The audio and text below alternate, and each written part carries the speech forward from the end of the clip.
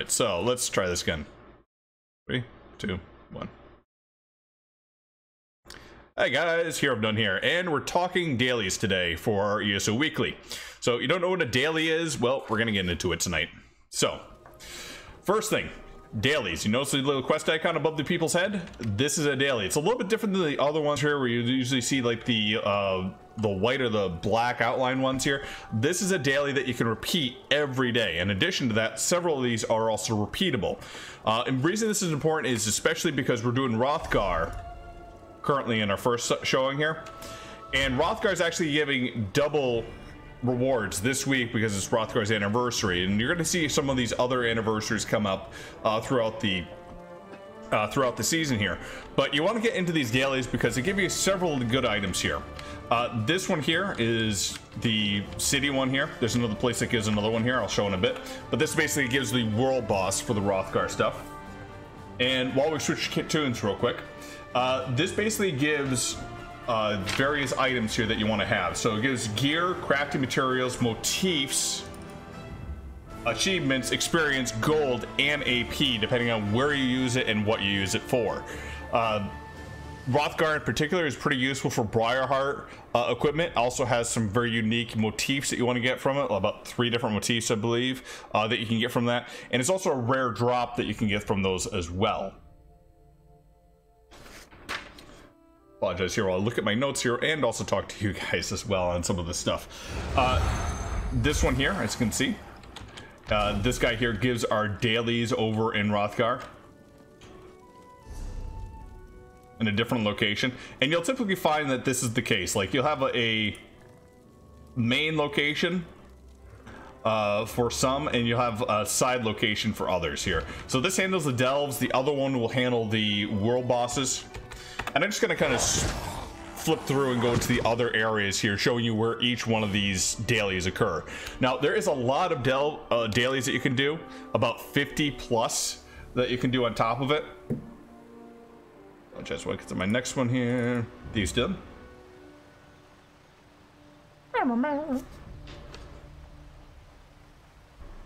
Uh, but for Wrothgar, for example, there's one, uh, there's two quests that you can do each one of them shareable across the board with what you want to do. Uh, and you can have one in the city, one in the the tribal location, as I call it, uh, to handle the bosses and delves. Uh, the bosses one you can share because typically you have to have other people come along to help you, and typically the bosses you wouldn't want to have to face a world boss on your own. Uh, why would you want to do this repeatedly over and over again? It's typically because of the drop stuff that you're looking to get. Uh, the motifs are very rare to get, so you kind of have to do multiple locations of it. Uh, for example, this is the Thieves Guild here. These ones are a little bit unique, more unique with some of it. This one here is a heist board, which does heists only. You actually have to do part of the story quest to get this.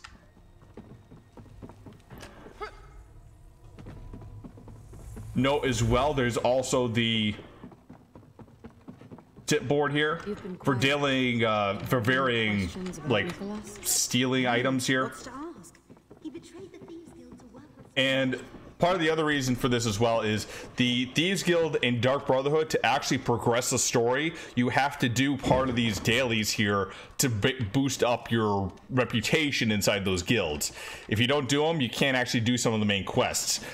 Kind of complaint from some people with that, which I can agree with. Like, you don't want to have to grind these out to get these done, but it is what they put inside this as well.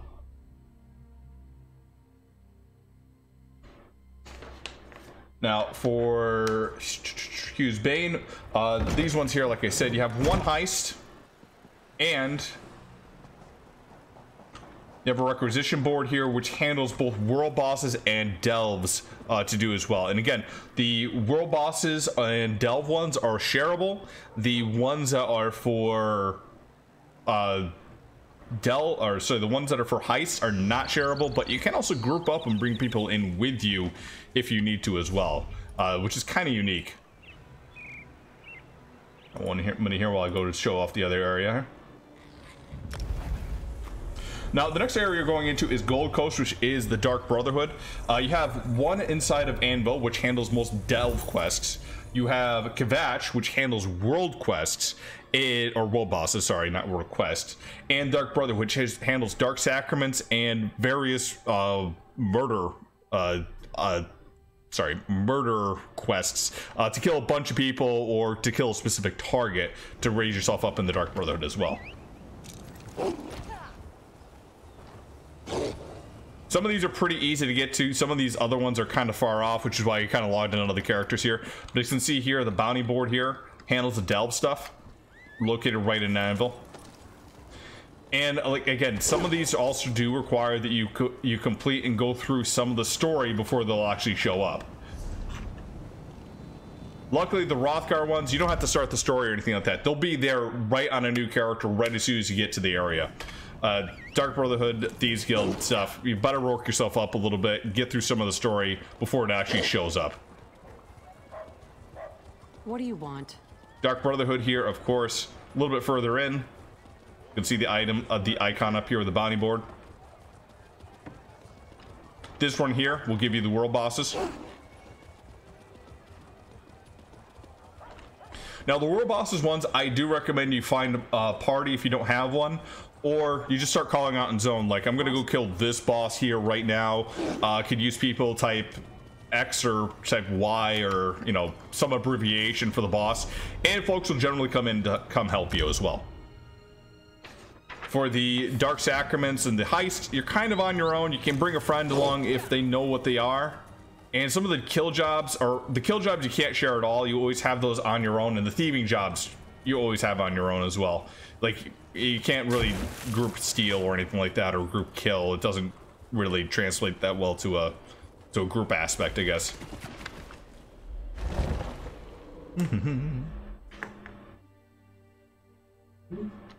Apologize for the wait guys. Uh, the, the loading screens are always the the pain in the long part of showing some of this off.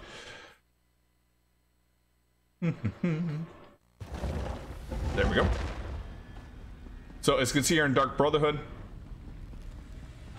after you join the Dark Brotherhood, you get this Mark for Death quest here, and these are just repeatable quests. They can actually, those quests you can actually repeat more than once in a day because if you want to get faction uh, with the Dark Brotherhood, you kind of have to do them. The Dark Sacraments and the heists here are done only once a day, and only by yourself. So talk to Speak, Speaker Tinos here, and you have Dark Sacraments and other good stuff for that as well. Okay, let's see. Went over Wrothgar, Gold Coast, Hew's Bane. Ah, Clockwork City is next. Now, this does not count any. Uh, this doesn't have any. Uh, we don't have any dailies for Delve or sorry, Dungeon uh, DLCs. Uh, that would include things like the.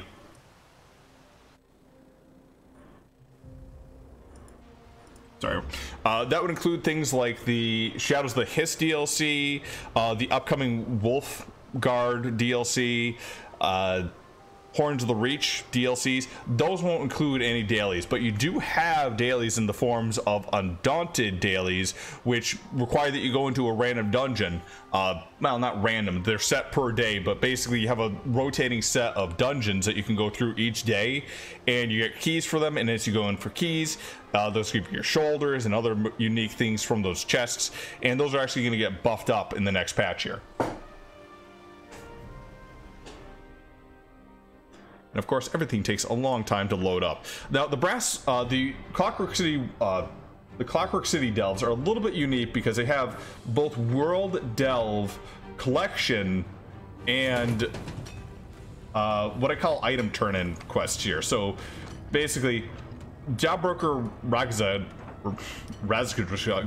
I can't pronounce that name. Uh, here will give you something saying, go off and collect me, you know, 10 cloth pieces here so we can rework something here. You actually get to keep the items in there as well as uh, getting a reward here. A crow enjoys playing. First of tributes here. Uh, we'll take items from you, uh, usually like ornate items or a certain type of item, saying that he needs them for the uh, Court of Crows. And it's actually kind of unique because you don't usually keep the ornate stuff for anything but selling, but it's kind of unique that it gives you those items and actually gives you the uh, nocturnal the nocturnal armor motif as well. Uh, Clockwork Facilitator here will give you jobs, I believe, for the world bosses, and Novice Holli here, uh, Daily Broker, will also give you jobs for the uh, delves inside Clockwork City. So that's kind of unique in the way that that handles. Now that's the DLCs. Now the expansions, each one of the expansions also has dailies. Yeah, I know, there's a lot of dailies inside this. But we have two sets of dailies here that you can do here as well. Uh, one is in the Ashland area, the other is in Vivec City. So I'm going to show off the Ashlanders first, but you have two in the Ashland area, uh, one for a hunt and one for a basically a delve search thing. Um, and each one of them are kind of uh, for the Ashlander stuff, or you can get basically either an Ashlander motif and also the Ashlander like crafting material, so you can actually make the item that you're looking at.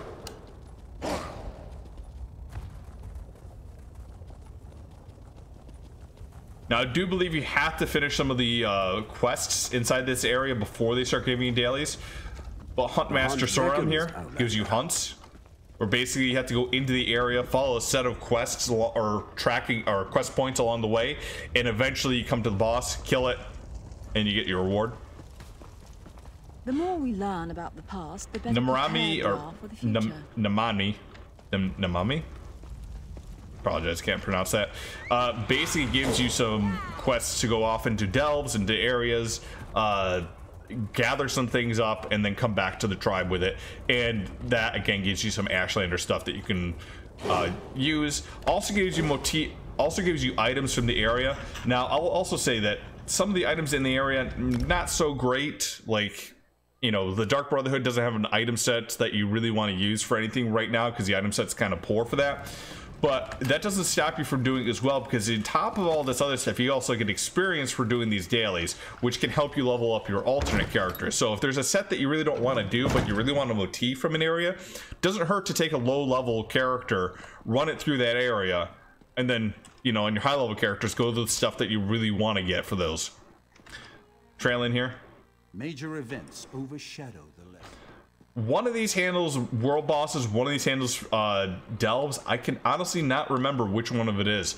I believe it's, I believe she handles delves, and I believe he handles world bosses. But if I'm wrong, I'll put a comment down below. I apologize.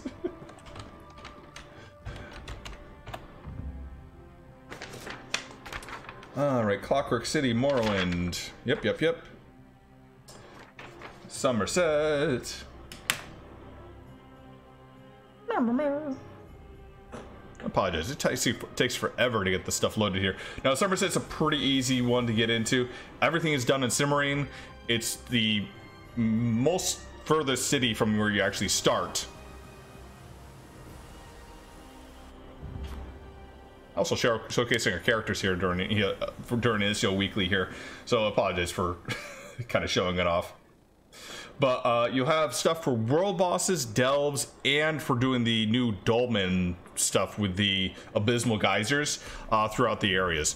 And these basically give you access to the uh, new motifs, uh, various item sets that you may want, and some various materials you may want as well.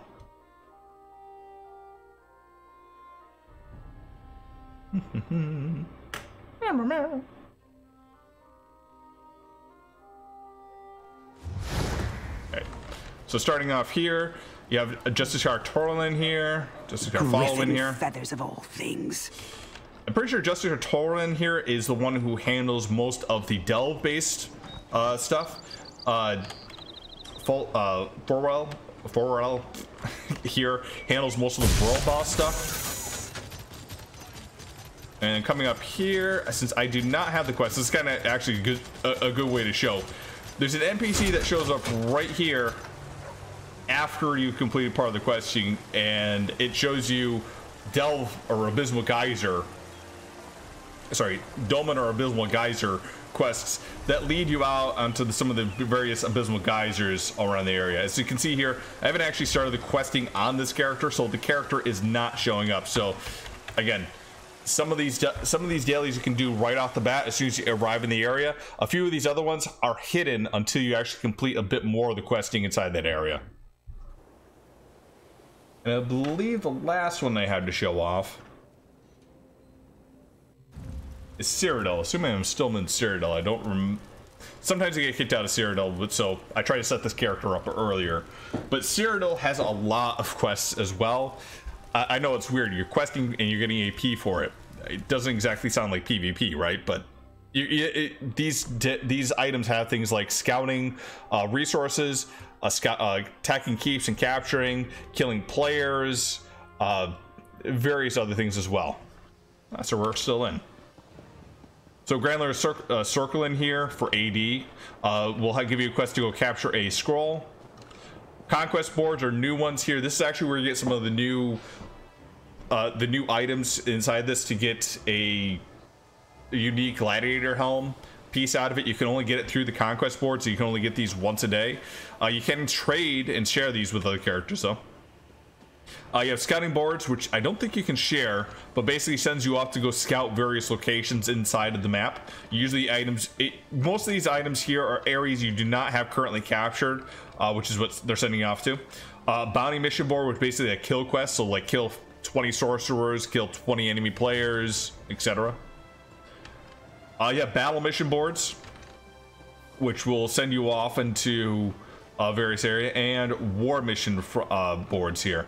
I believe the battle mission boards here are going to send you to capture a certain particular resource, and then the warfront mission board here will send you to capture like a keep or something else like that.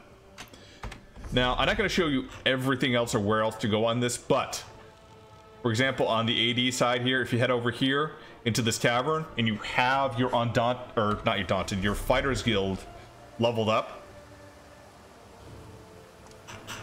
There's something called Bounty Hunter, which gives you access to bounty quests for Fighters Guild. It doesn't actually give you bounty quests to go kill players. As strange as it is to say, it's going to give you a quest to go kill NPCs in this very various area and say, you know, go kill the red bandits over in this area here, or go kill the blue bandits over in this area here. So you have those to go through as well. Then you have dailies inside of each one of these townships. So Vlastarus, Bruma, and Cropsford. You have questing inside there. And then on top of that, I believe you have some more questing inside of these areas still. These small towns, which aren't really listed as anything as such. Um, to think of where the other daily... Uh, I believe there's one other town I'm probably missing entirely, so I apologize to folks on that. Now, lastly, I'm not going to go into Imperial City right now, but there is also dailies for each district on top of this. So what these apparently do is give you small little coffers, which give you Tel Var, and for you know when you first come up into the area after you've done the main quest or like the main scouting quest for each area you basically head up and in the area there they'll have like a daily broker that you can get to. You can only get to it once in your up in the area. Once you drop down, then you have to return to base, go back up to another district and get the quest up there. So if you want to do all these here, basically you should go down into your base, pop up, get the quest, pop back down, go to the next district and kind of get all of them there, then drop down and do all of them if you're really looking to grind uh, some PvP stuff on that. And I think the final ones here for PvP would be Battlegrounds, which typically you can find your Battlegrounds merchants inside of each one of these areas, and they basically tell you like, oh, please go here and complete this, go here, complete that, etc. Now, for the final thing, for folks that are PvE and don't have any DLC and don't have any expansions, there is dailies for you as well. Uh, as I mentioned at the start of the stream, you have your your daily crafting stuff. So you go to your crafting board after you get your certification, and you'll go to each one of those areas. I'll just get to my character here. Uh, you'll go to each one of those areas and or sorry, you go to each one of those boards, craft something, go in and turn it in, and then you'll have your daily done for the day. You get that once a day. There is add-ons as well to make those a little bit quicker uh, for folks, but I'm not going to really mention that at all on this. If you really want to get get it, just search it. Ma Crafter UI, or I think it's Master Writ uh, add-on or something like that. But anyway, regardless of that, you have a few other dailies you can get into. You have Mages Guild one here, as you can see here. All you have to do is be a member of the Mages Guild, a member of the Fighters Guild, a member of the Undaunted to get these dailies as well. But basically, every guild has something here. Uh, this basically gives you the Draugr motif and the materials to make the Draugr as well. Uh, so if you're wondering, I know a lot of people have actually just kind of skipped over it because they never even realized that this was here, but uh, they added this a few patches ago. I'm just showing off the Grahtwood one. You can go to almost any city. I believe that most of their cities should have this.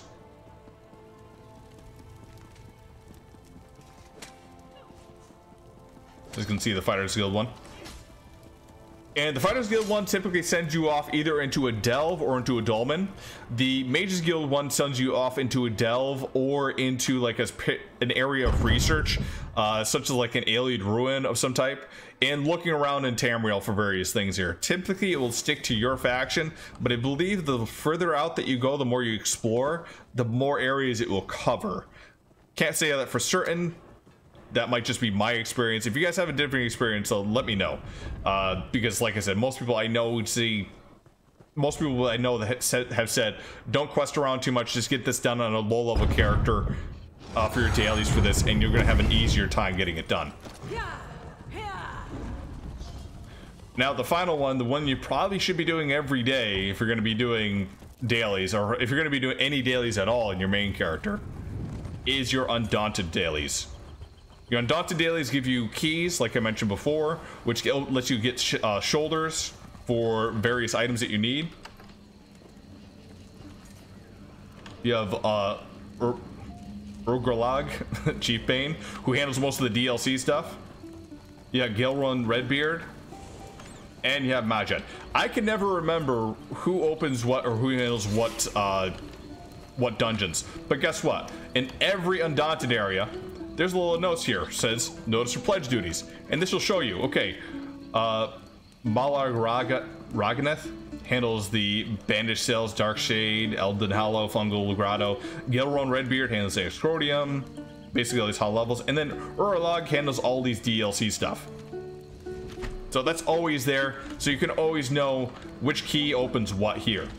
Now, there's also an additional one here with Bulgurl uh, that to do some extra del some extra delve items here as well. And that basically gives you more motif pages for Draugr, more equipment, and yeah, just basically more stuff on top of that. Anyways, guys, that is how many dailies we have here. As you can see, there's a crap ton in here. Questions are how what ones do you do? What do you prioritize, etc.